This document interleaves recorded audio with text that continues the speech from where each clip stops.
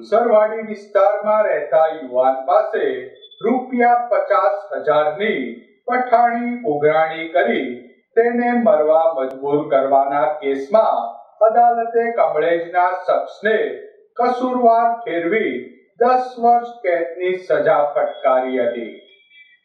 પ્રાપ્ત વિગતો મુજબ ફુલસરવાડી વિસ્તારમાં રહેતા અશ્વિન શિવજીભાઈ ચુડાસમાએ કમળેજ ગામે રહેતા જીતુ સામજી ડાબી પાસેથી પચાસ હજાર વ્યાજે લીધા હતા.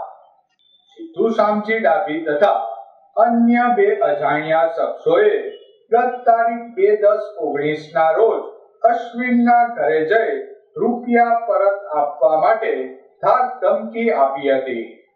ઉક્ત શખ્સોના ડરથી યુવાને કપાસમાં છાંટવાની દવા પી લઈ આપઘાત પહોરી લીધો હતો. અંગેનો કેસ ડિસ્ટ્રિક્ટ એન્ડ સેશન્સ કોર્ટમાં ચાલી જતા સરકારી વકીલની ધારદાર દલીલો તેમજ આધાર પુરાવાને ધ્યાને લઈ અદાલતે કમળેજના શખ્સને દસ વર્ષ કેદની સજા ફટકારી હતી.